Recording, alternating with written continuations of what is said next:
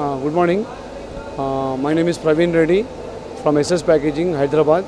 We have a plant in Chinimatla manufacturing uh, BOPP tape, uh, LLDP stretch film, and PP box strapping rolls. And we have participated first time in IPLEX, and we, we found it is very good, and we got a good inquiries. Let's see, hope that we make these inquiries into the orders.